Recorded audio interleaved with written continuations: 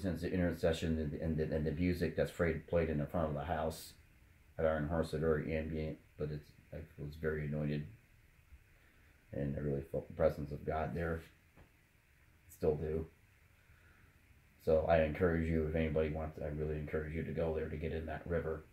You really receive the impartation of His presence, where there's not, where there's not religiosity, where there's free, where there's religious, there's no the filter is pure and it's clean of any religiosity. Um, I don't know how many times, and I worked at Iron Horse, there was a song that seemed to be playing, even be playing in the kitchen by one of the cooks or or somebody that just happened to exactly line up with what I was going through. So that why that brazen altar the represents the altar of incense, and that's what. But I'm gonna rewind here. Um, but but um, it, when you go into the, petition of the tab, the front of the tabernacle, the first entrance of the blood is covered with.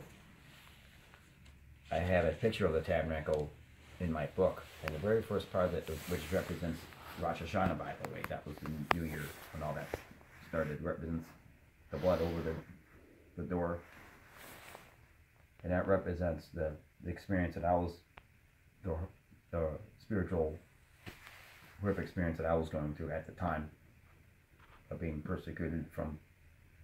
I felt that I was being separated from my own spiritual life. And God had showed me when I was getting off of Iron Horse that one day, that was Rosh Hashanah, by the way, he had showed me that that experience was exactly what you were going through. They were playing some music in the kitchen that was very sad and and I remember when Tom said he knows exactly what you need, knows exactly what you're going through. And that's when God fell on me. I had gotten off my, it was September the 20th, I had gotten off my morning shift at Iron Horse on Sunday. They told me, it says, I want you to get dressed, change, and get over the, get over to Iron Horse and sit there because I had felt a desperation come in my spirit. I got there and that's when God that's when God fell. So, and then, so Scott Warden, Scott represents that part of that time in Portsmouth Tabernacle. Police represents the brazen altar. Uh, Andrew Shays represents the, um, and a lot of these other people represent the golden laver, the words knowledge going forth, the is going forth, and then uh, the people those CDs represent the menorah, the, those people that those CDs went to, went, that got those CDs, they represent the makeup of the menorah.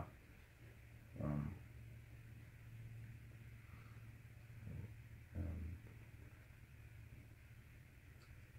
I guess that about wraps it up.